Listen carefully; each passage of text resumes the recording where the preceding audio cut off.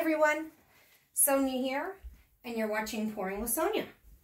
And so on my Facebook page, Pouring with Sonja, I said I would take requests for anything, any color scheme or technique that anybody wanted to see me um, pour. And my friend and I, who used to play fantasy football together, she just had a man, well, she had a lady crush on Aaron Rodgers because he was her quarterback and took her to the Super Bowl. So she loves Green Bay Packers.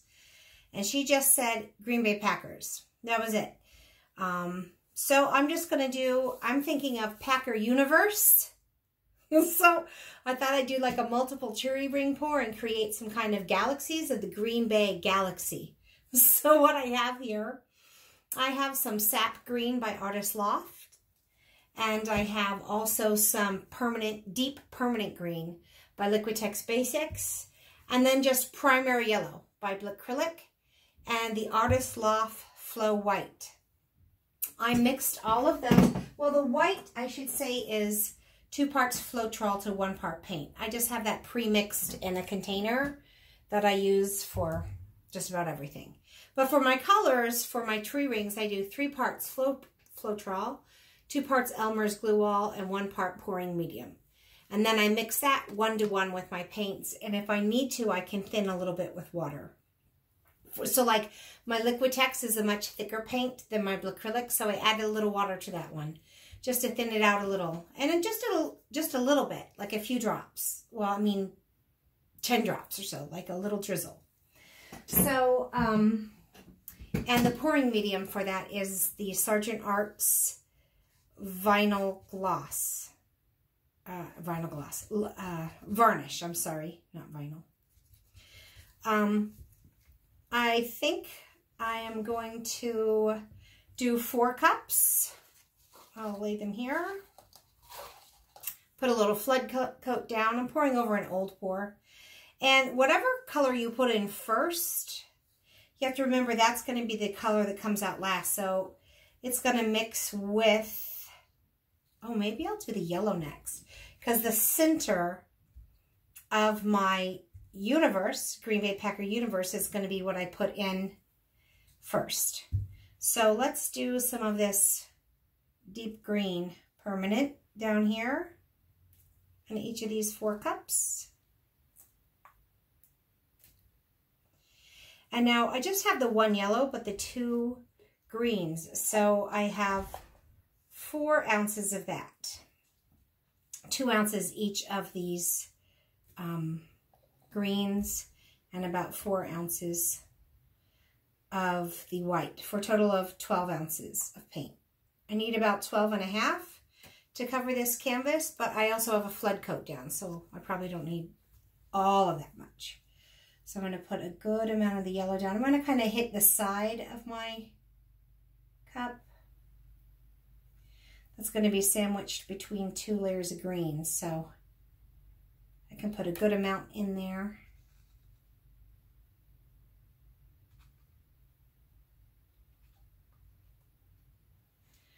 And then just come back with a little bit of a lighter amount for my next one. But that's going to be the center of my universe. So I want a lot of yellow to show up. I tried this once before and I had these same colors. I added, though, some gold and some black. And that black just took over and the gold was not a good. So it, it's a really cool pour, but it's not really Green Bay Packer Universe. So, ditch the black, ditch the gold, double the yellow, double the white. And I want the white on the top because the color that's on the top of your ring pours, they're probably going to get rolled over on or tilted off. I don't care if the white gets tilted off, but I wouldn't want like my yellow on the top or my green if I want to try and keep those. I don't mind if the white gets a little bit tilted off. So that's going to be my last color in the cup. First color in, oh, you guys, I was just totally talking and not paying attention. I just put all of that green. Oh my gosh. All right. That is not what I meant to do at all. Let me put a little yellow there. And then a little green here. All right, let me just focus. so I need a little green, little green. I meant to do a little bit of green in each of these cups when I started talking. And uh, poured it all in that first cup. I guess I should really be paying attention. Little yellow. I just wanted to have just a, a small little layer on this layer. Most of the colors are on that first round through, but shh. If I think about that too long, I'm just going to start giggling because that's funny. Focus, Sonja. No squirrel. Don't get distracted. Chit-chatting away.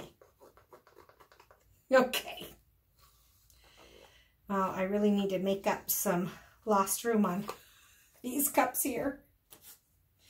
Okay. And a little more of this green. Don't have a ton of it left.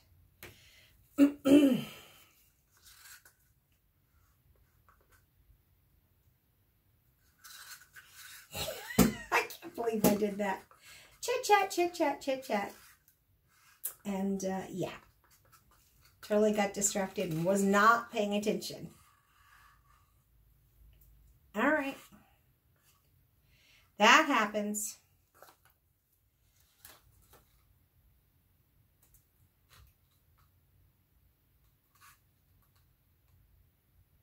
Because that happened,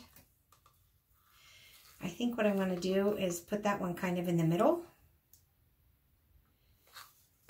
And it's going to have, it's going to be the biggest one. I don't want to put it in a corner or maybe I'm going to tilt it off.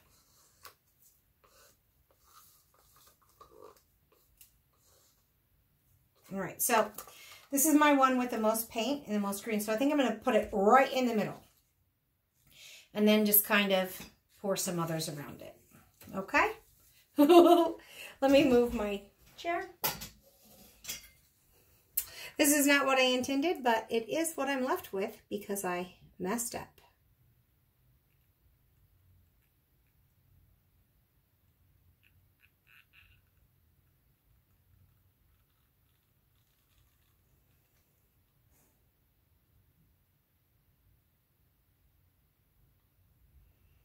Darn, I've got some squiggly wigglies. I really wanted some nice neat. I probably should have just done a straight pour.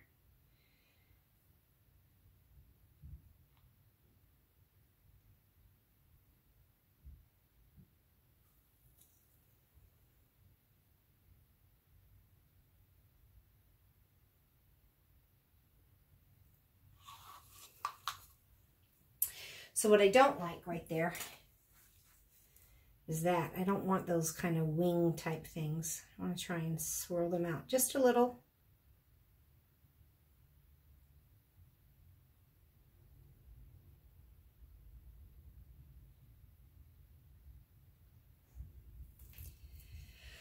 Okay. Now I might end up doing a big one here and a big one here and then two little ones there or something like that. I'm not sure.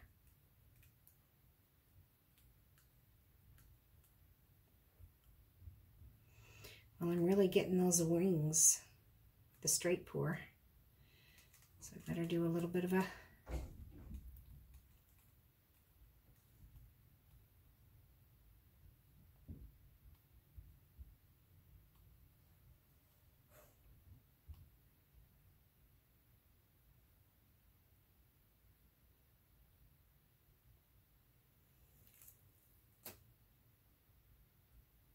And I know I'm going to need all four cups because I know I'm going to need 12 ounces.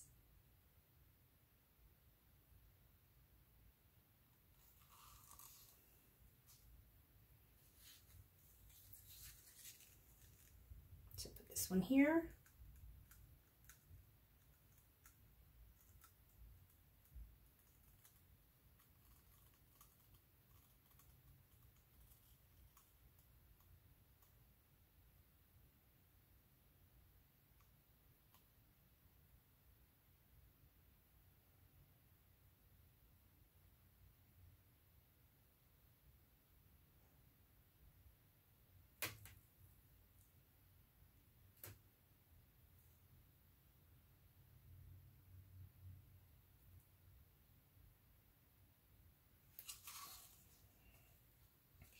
So I think for this one, I'm going to get all the color though over there. So I don't know. Let's see.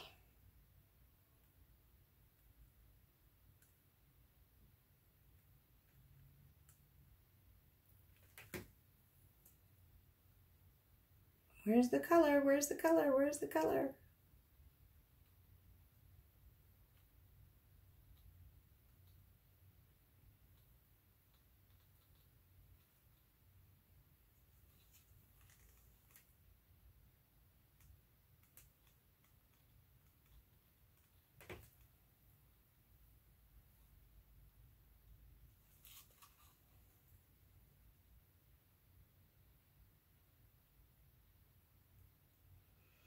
I wanted some of that really dark green in the middle of this one too.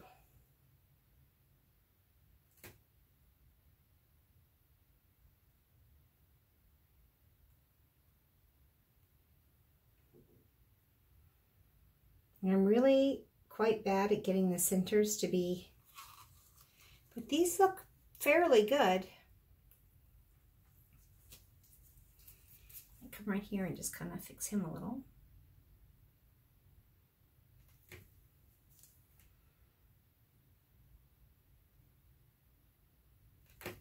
Tighten them up a little.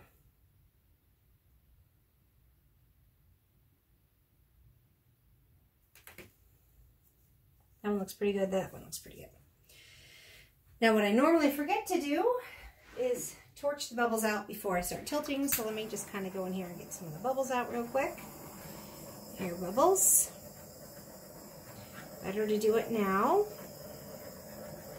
So I'm not trying to get any cells with this because they don't have any silicone in it, but I do want to kind of pop some of the bubbles. Okay. I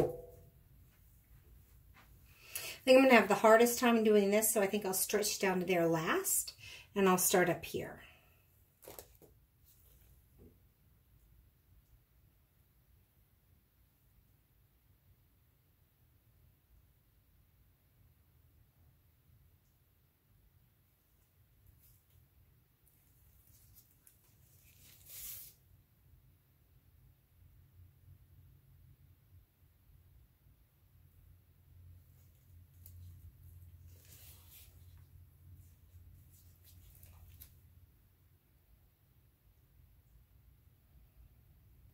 Well, actually, let me come to this one next because I don't want to tilt all of that other one off. The little baby one.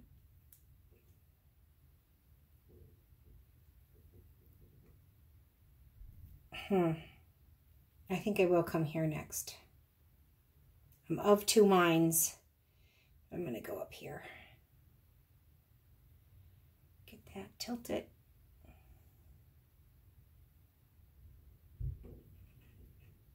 just right there. Then we'll come down here.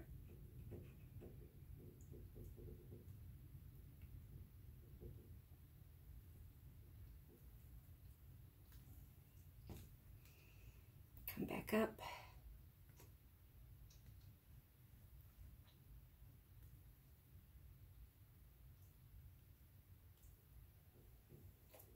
Kind of want the weight of the paint to get behind this one and kind of push it down.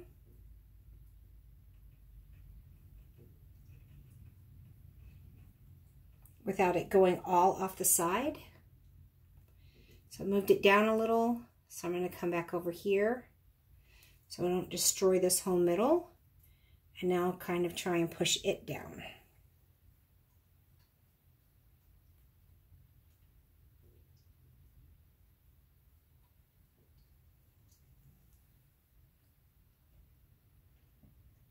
Didn't come quite far enough over because this little part's not going off. There we go.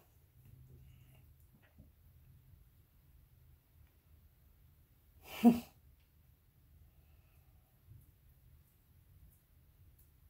probably going to end up losing it all anyways. Yeah, I am. I tried not to. That's just the way the cookie crumbles sometimes. So I think I want to bring some of this yellow here off to the side. because I liked that, I like that green stretched out with the yellow.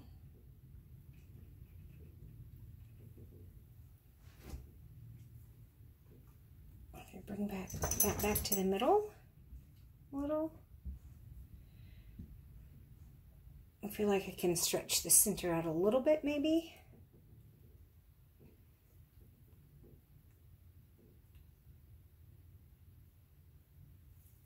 Hmm, maybe not. Maybe I just leave well enough alone. So, there's my Green Bay Packer universe. Let me bring you in for a close-up. Check my sides real quick here and get these corners, actually, before I do wipe my hands off.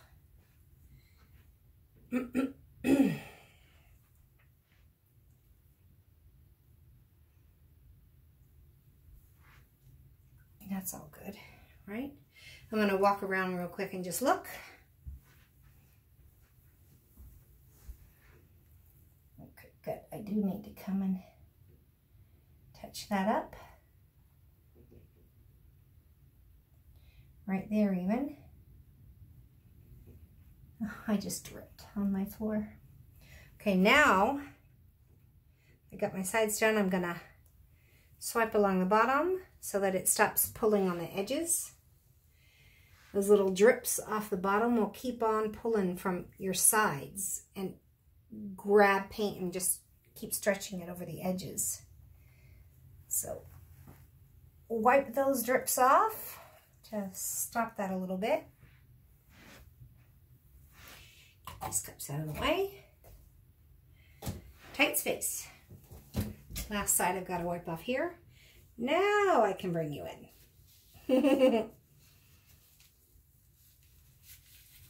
okay, I think that's a fun Green Bay Packer universe.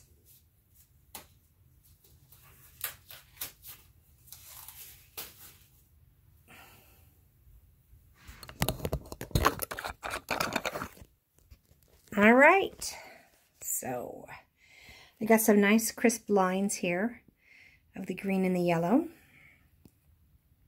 Universe. Center of the universe is Green Bay Packer for the Green Bay Packer fans, right? Ah, oh, that's such a shame. Because that was my darkest color one. And I was trying to save it, but I couldn't. But that's a pretty fun pour. Yeah, so if you want to see a certain color combination, oh, I like that one the best, I think, maybe. Well, that's pretty cool too. Um, if you want to see a color combination or a certain technique that you'd like to see me try, either leave it in a comment um, underneath this video or go to my Pouring with Sonja um, Facebook page or or leave it on my Instagram page. I got it all over the place, but just leave me a message and I will try and do that for you and we can kind of keep one another entertained while we go throughout the self-isolation. Okay, so I hope you liked this. Please give me a thumbs up if you did. And subscribe to my channel. I would love that. And until we meet again, have fun painting, everyone. Bye.